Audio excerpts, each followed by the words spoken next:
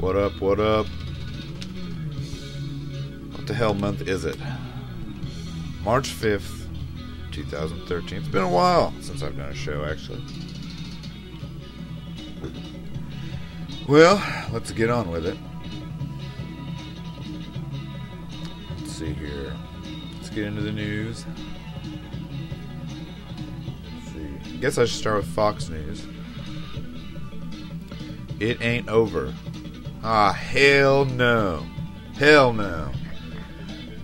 The biggest widespread storm of the winter is expected to dump at least 8 inches of snow throughout parts of the Midwest, including up to 10 inches in Chicago, where airlines have already canceled nearly a thousand freaking flights. I don't believe it.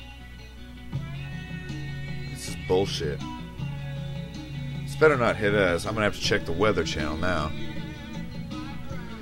Anyways, this is uh, Fox News. Hundreds of flights canceled as widespread winter storm could dump 10 inches on Chicago Midwest. I hope it don't hit us. Mother Nature apparently saved the best, or at least the biggest, for last. Son, I'm already pissed. I'm already pissed, and they had to say that. Chicago was hit Tuesday by a storm expected to dump as much as 10 inches of snow in the area before the end of the day the most since the 2011 blizzard, and it's more than 20 inches of snow. This will be the biggest widespread storm, widespread storm of the winter, National Weather Service meteorologist Amy Seeley said. The forecast was for 8 to 10 inches throughout northeastern Illinois and northwest Indiana, a far cry from last March, which saw less than a half inch of snow and was the warmest one on record in Illinois. Sorry, guys, I gotta break off. I'm gonna go to the Weather Channel. I know you're just thrilled about that. Oh shit. Oh shit, Winter Storm Saturn. Hopefully, hopefully you listeners to Word of the Wise know what that means. Okay. Nice name. Who's naming this shit? We got Q, Rocky, now we have Saturn. Alright, let's see it. Let's see it. Let's put in the old zip code.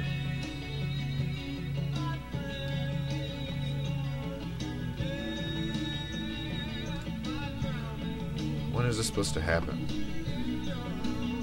Winter Storm Saturn. Winter Storm Saturn. It's just like partly cloudy and wind for that point. Sunny? Maybe I'm not going to get it. Five day. Let's look at the five day.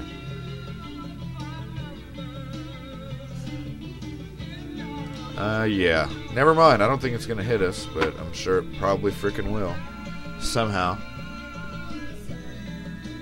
Anyways. Let's see here.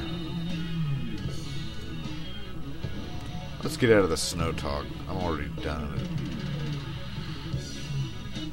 Let's see. CNN.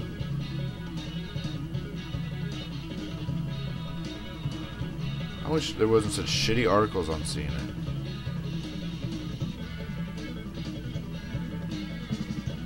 Oh, leadership change in China. Three challenges for new leaders. This is by Hilary Whiteman, CNN. Hong Kong, four months after hushed deal broking, produced a new leadership lineup for China. Now, if you've been listening, you'll remember when that happened. Xi Jinping is set to normally take charge of the country he'll rule for the next 10 years. Xi, along with new Premier Li Keqiang, has inherited a supercharged economy that's created vast riches for some, a growing middle class, and many poor migrant workers who are becoming increasingly frustrated with their lot in life. But the deepening wealth divide isn't the only challenge facing the country's population of 1.3 billion people. In November, as China was convening its 18th National Communist Party Congress, CNN asked a number of China experts to define what they believe to be the country's most pressing challenges. We revisited their thoughts four months on as delegates attended the 12th National People's Congress in Beijing. Closing the wealth gap. Too many men. I'm going to read this one in depth. Faced with a surging population, China attempted to put the brakes on procreation in the late 70s by implementing a controversial policy limiting couples in some areas to just one child. Since then, a cultural bias towards male children has led to a skewed child sex ratio where millions of men, or bare branches, face an uncertain future due to the lack of potential female partners. Come on, guys. Come on now. You know there's something wrong with, with any male leader that says I don't know. anyway, securing China's food, water, and air. Four major, I'm to read this, there's a graph here. I'm to read it, the uh, caption to it. Four major Chinese provinces are at extreme risk of water shortages. So, that ain't good. Well, you know, they're making all this damn money. You'd think they'd be able to import some bottled freaking water. But, as anybody knows, shipping bottled water is actually a little expensive. Hell, I think it costs you at least twenty dollars to ship it. You know, UPS. Anyways,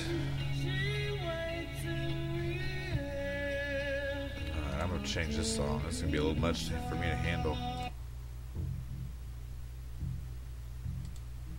There. Will be better. Yeah, that's interesting. Old, old China. Let's go to the Drudge Report. Stocks on a high.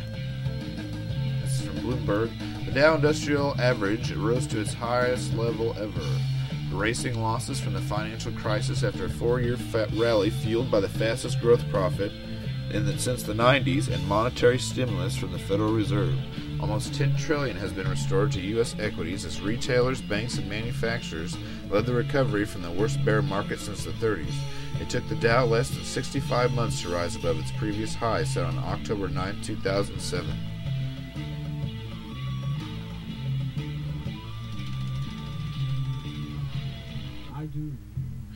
Psychologically, it may give a sense that we have recovered a tremendous amount from the depths of the crisis. Wasif Latif, the San Antonio based vice president of equity investments at USAA Investments, said by telephone. His firm oversees $54 billion. On the other hand, it could create a sense of nervousness that we reached an all time high. So, how much is more is there to go? So, yeah, apparently the stock market's doing all good and shit, but you know, uh, hopefully they're also studiers in history and know that you know anytime it shoots up like that you know what i mean? What goes up must come down. Anyways let's see what else. War drums uh-oh. John kerry this is from abc news. John Kerry concede, I, concedes Iran is moving closer to possessing a nuclear weapon. For some reason, I'm getting a commercial. Anyways, I'm just going to turn that off for a minute. At the end of his first overseas trip as Secretary of State, John Kerry acknowledged that despite the continued diplomacy and tough sanctions being leveled against Iran, the regime continues to get closer to possessing a nuclear weapon. Yeah, they're not going to let up on this one. You know, I mean, shit.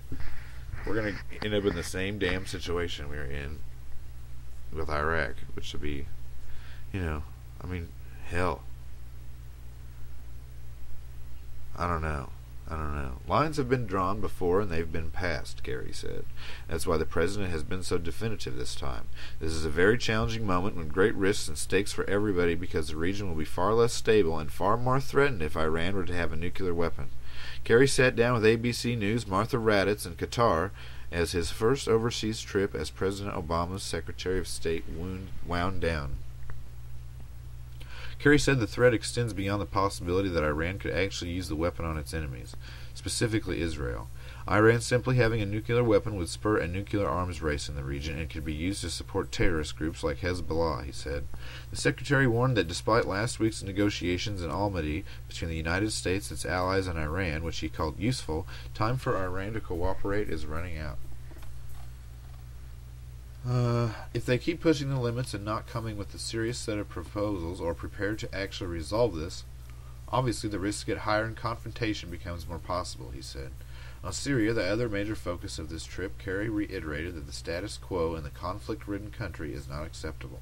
With more than 70,000 people killed over the last two years, and recent reports of President Assad al Bashir using Scud missiles to attack civilian areas, the Secretary acknowledged that America must do more.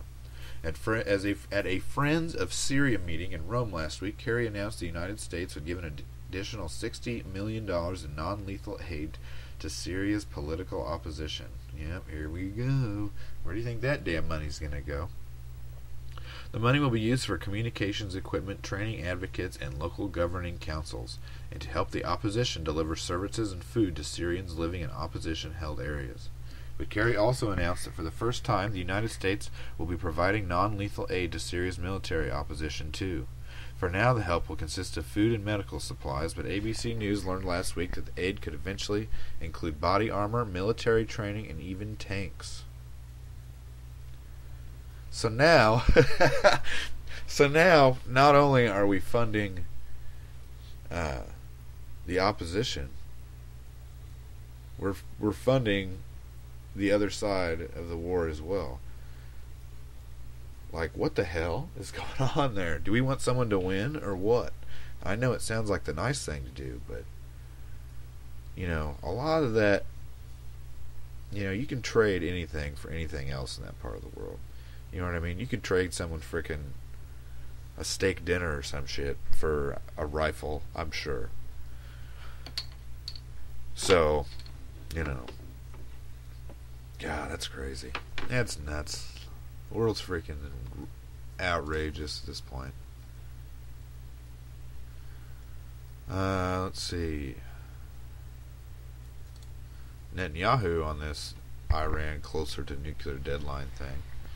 This is from France24.com, AFP. Netanyahu, Iran closer to nuclear red line. Israeli Prime Minister Benjamin Netanyahu said Monday that diplomacy has so far failed to deter Iran from pursuing its nuclear program, warning it was getting closer to crossing a crucial red line. I wish I could find this picture for you guys. And this is freaking yeah. Dude, this is this is crazy. You really need to find this picture online of Benjamin Netanyahu pointing to this red line of a bomb with a fuse, and he's pointing to it. It's total, like, I don't know. you just gotta see it. It's ridiculous. It's ridiculous. And you know, who knows? This could all be all be truth and but you know, shit's gonna play out how it plays out, and you know it's too bad that people wouldn't just form their opinions into solutions that would correlate with that. But that is the world we live in. Let's see. Let's go to rense.com.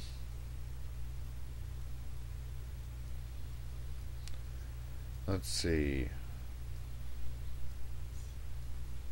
DARPA aims for eyes in the sky at sea. From the sea. This is about from spacewar.com. I don't know. Staff writers, Washington, D.C.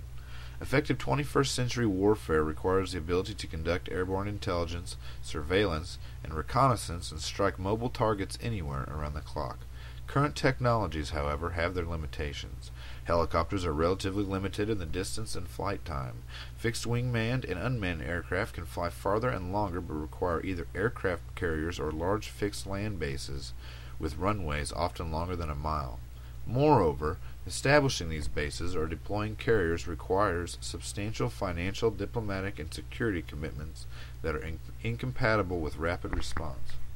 To help overcome these challenges and expand DoD op- options, DARPA has launched the Tactically Exploited Reconnaissance Node Program, or TERN Seeking to combine the strengths of both land and sea based approaches to supporting airborne assets, Tern envisions using smaller ships as mobile launch and recovery sites for medium altitude, long endurance, male, fixed, unmanned aircraft.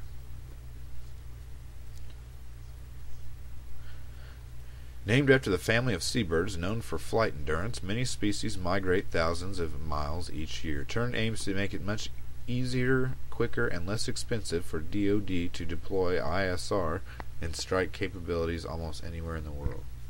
It's like having a falcon return to the arm of any person equipped to receive it instead of to the same static perch every time. It's kind of, I mean, it's scary, but it's kind of interesting. God, can you imagine in 20 years the state of warfare if if if we haven't destroyed each other already? It'd be ridiculous. It's really going to be something like Terminator, I think. Because at a certain point, you know what I mean. That's that's the ultimate goal, you know, in the military is to protect your own. No, I mean, I would say as a standard, protect your own. Your you know. You don't want yourself getting overtaken by the enemy you know, at a certain point, yeah, you know, human beings will probably be taken completely out of it, and it's going to be, you know, freaking weird, is what it's going to be. Can you imagine that? Like, you're at a you're at a grocery store. Yeah, screw it. I'm gonna take a candy bar, and all of a sudden, there's like a a machine out there waiting for you, and you know, gonna take you out Freaking weird. Freaking weird is what it is. Alright, where am I here? I don't think I need to do any more news. I could just ramble on about something. Let's see here. Let me get a stretch out. Ah.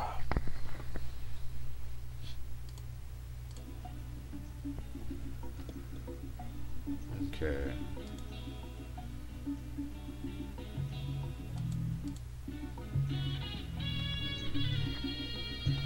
Let's see here. Well, I'm going to be working on a show today. I'm going to try to get it out by the time I go to work, at least. At least the recording aspect. Uh, Babylonian magic and religion. And I suggest it'll be a part of the mystery series and Word to the Wise. And I suggest listening to it. I think it'll be pretty good, at least pretty interesting. Uh, I don't know. What should we talk about today? I'm going to talk about. Okay, I saw a movie this weekend. I've been trying to do that. I've been trying to watch more. I like supernatural thrillers, you know, classic. I don't know if you. I guess it'd be psych or uh, supernatural horror. I don't know. There's just something about some movies like that that, like, I don't know. They just, like I said last time I did the little movie review. Uh, it's crappy because I always have the whole thing figured out in like the first ten minutes. You know, that's just, I guess, because I read about shit like that on a consecutive basis all the time. And I don't know, but anyways, the movie was Sinister, and it's actually pretty good. It's got uh, Ethan Hawke, I think his name is. I know, I know, I know. Some of you are thinking, oh, he said fucking Ethan Hawke, most famous actor of all time. but anyways, he moves into this house and he's a writer, and uh, he's like a true crime writer. He moves into this house. He finds these videotapes and you know it's some it's the house of some gruesome murder and i don't want to give too much away but uh, i really i really liked it. It was pretty good. Uh, i don't know i just there's just shit in there that i can't believe he did like there's a part in there where he, he's watching these old like reel to reel tapes and uh, eventually he finds this slide that has like you know the boogeyman, the ghost, whatever in it. And it's all creepy looking, and it cracked me up because he's the the tape started burn to burn off because he left it on that scene too long in the reel to reel. and he wasn't recording it with like a videotape recorder. And I I kind of lost it. I was like, what the fuck? You kidding me, dude? That's ghost hunting 101. And uh, I don't know. Other than the few facts that some of, the, I wish they would just keep the monster like real far in the background all the time and never let you get to see it. Because every time you end up seeing like the main bad guy or whatever in a horror movie, it's always looks fucking silly. And this one actually looked pretty cool, but still, like you know. But anyways, there was a concept in that movie that actually I thought was interesting they included in there because it mirrors something that I found in my research. And uh, what it is is that one of the elements of the uh, of the uh, I guess the uh, mode of operation of the what did they call him Bughuul that guy's name's Bughuul. He's like a Babylonian demon, whatever. And, uh, like, basically, he lives in these images in the mythology, and then in the modern day version of it, you know, where the story is taking place, he hides in, like, these videotapes that this killer has taken and like you'll see like him in the background and shit. And what it is is that once you see that image, it's like a portal for him to enter your life, whatever. And uh, anyways, I discovered something similar to that in the ghost hunting field with electronic voice phenomena. Now I had there was a point in time where I was getting a lot of darker shit, and uh, you know this this is probably just theory. I don't know if I could really prove it, but um, it always seemed when I had these particular recordings that when I play them to people that were real in, you know, they were into the paranormal and stuff like that, that they would start experiencing some sort of activity in their home. I found it interesting that that movie kind of paralleled that idea. I hope you can hear me over this weird noise that's coming out. Here, this will fit a little bit better. Uh, but yeah. Yeah, this person had been listening to these EVPs because there was a time period where I got like two or three ones one time, and they were just fucking, they were pretty intense. And uh, I would let people listen to them, and uh, yeah, everybody, everybody claimed that they had like some sort of nightmare that night and all this shit, or some sort of event none of it was real intense. You know, nothing like the devil didn't come out of the freaking ground or whatever. But yeah, they definitely left impressions on people to a point where they believed, you know, some sort of event was transpiring because of these EVPs. And yeah, and I ended up getting rid of them honestly because I mean, you know, at that point in time, I was a little bit more into it and the thought that just having these things around and letting people listening to them could cause activity and you know you know other people live with me i don't know if i should subject them to some sort of you know demonic torture because i wanted to you know get a rush when i listened to it or some shit but yeah i mean that's one area of ghost hunting and shit that I was fairly successful on.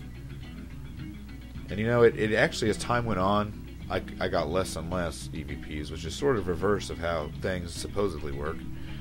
But um, yeah, when I first got into it, into taking electronic voice phenomena and making recordings and stuff, dude, I was highly successful with it.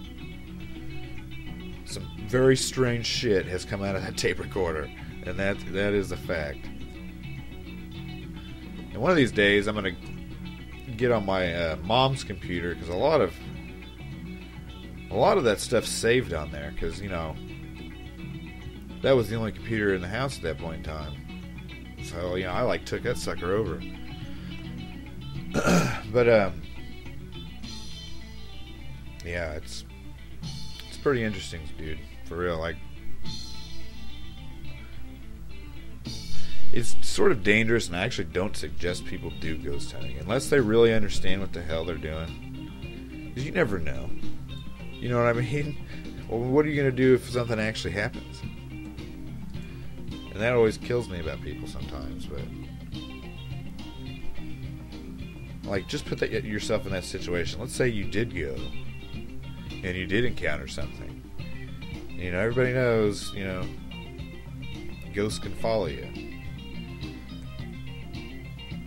Spiritual entities, essences, whatever you want to call it, they can follow you. I've experienced that before. And, uh, you know, unless you really know what the hell you're doing, and I wouldn't even suggest messing with it, to be quite honest with you. You could probably cause some problems for yourself, honestly. But, uh, I don't know, guys. It was a good movie. I also went to a chili cook off. And the only thing I can talk to you about concerning the chili cook off, because it was quite literally burned into my brain and body, is this damn ghost pepper. Ghost pepper chili or some shit. God, man. It was it was bad. And what was crazy about it is I could kind of withstand the hotness in my mouth, but the hotness in my stomach and my body like rejecting it. I had more spit coming out of my mouth, freaking tears coming out of my eyes, sweating.